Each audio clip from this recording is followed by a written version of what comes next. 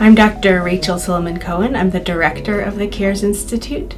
Um, and I just thank you so much, Dr. George, for the beautiful artwork. I see already how it's affected our physicians and our patients and our clients, um, even in the short time it's been hung. So thank you so much.